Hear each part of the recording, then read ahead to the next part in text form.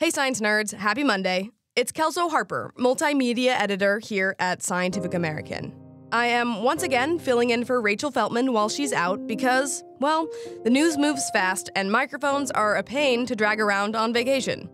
Rachel will be back in your feed later this week to talk about the surprisingly mysterious science of tattoos and back to her usual Monday routine next week. But for now, it's time to catch up on some news. Okay, let's jump in.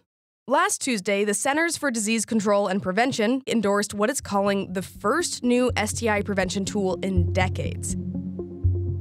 It's an antibiotic called doxycycline post exposure prophylaxis, or DoxyPEP for short, and it's a sort of morning after pill for sexually transmitted infections, or STIs.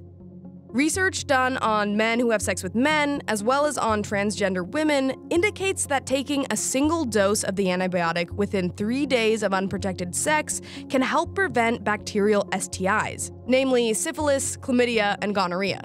But the CDC says more research will be needed before it can recommend DoxyPEP for other groups.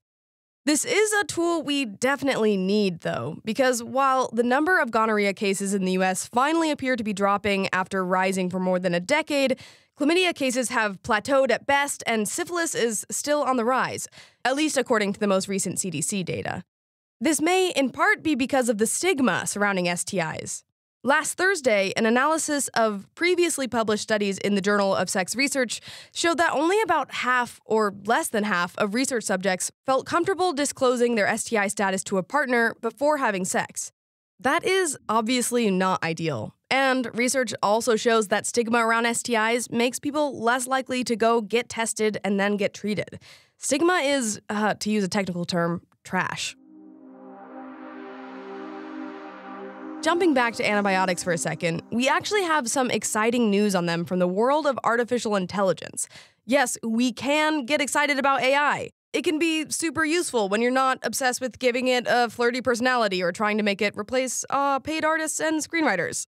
So, in a study published last week in Cell, researchers used machine learning to sift through a massive database of microbial genomic data. We're talking about the genomes of tens of thousands of individual microbes, plus a whole bunch of genetic bits and bobs picked up from environmental samples.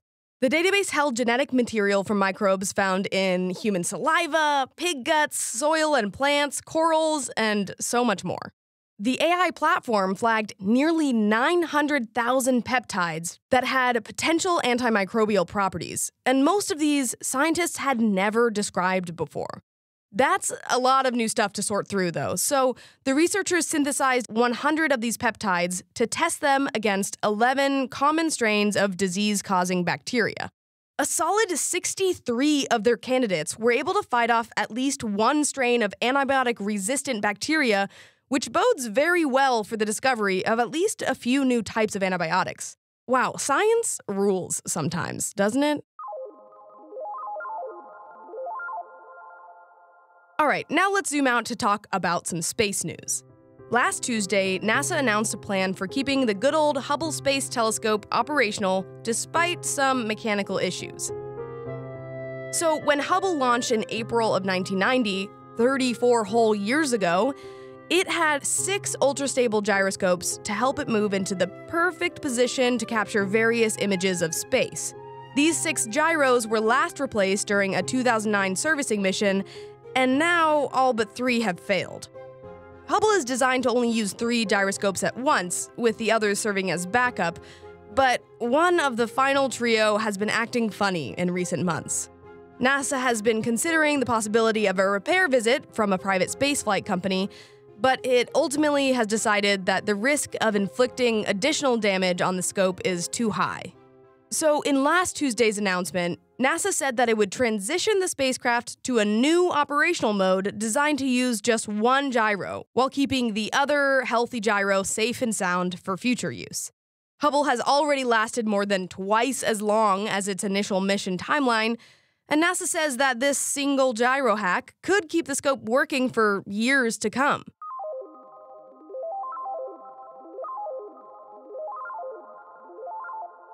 Also on Tuesday, China said its Chang'e 6 lunar probe took off with the first ever rock samples from the far side of the moon. The samples will be transferred to a re entry capsule, which is expected to land in China's Inner Mongolia region sometime around June 25th. Samples collected from the moon's oldest impact basin, which formed 4 billion years ago, could help us understand the early days of our solar system. During the landing, China reportedly displayed a national flag made of volcanic rock spun into thread like filaments, which now I need to go on a deep dive on how the heck you do that. This is the second time China has visited the far side of the moon, a feat no other space program has managed even once. It certainly smells like there's a new space race brewing, with China aiming to put an astronaut on the moon by 2030 and NASA aiming to do the same by 2026. And that is it for this week's News Roundup. Rachel will be back on Wednesday to talk with a chemist about what's in your tattoo ink, if anyone really knows. And this Friday, we're kicking off a new series about research happening in one of the most extreme places on Earth, Antarctica. Reporter Sofia Moutinho spent months sailing on a research ship off the Antarctic coast and has so many incredible science stories to share, enough to fill the next four Fridays.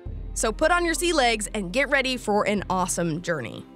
Also, before you go, we still want to hear your thoughts. How do you like the new episode formats? Do you have any stories or subjects you'd like us to investigate? Get in touch with us at sciencequickly at sciam.com. You can also let us know how you're liking the show with a rating or review. We really appreciate your feedback. And remember, Science Quickly is just a small taste of all the fascinating goodness Scientific American has to offer. You can get more in your inbox by signing up for our daily newsletter, Today in Science, or for any of our weekly newsletter roundups. You can also basically find us everywhere Instagram, TikTok, X, Reddit, YouTube, etc., etc. But you'll really get everything by heading to scientificamerican.com.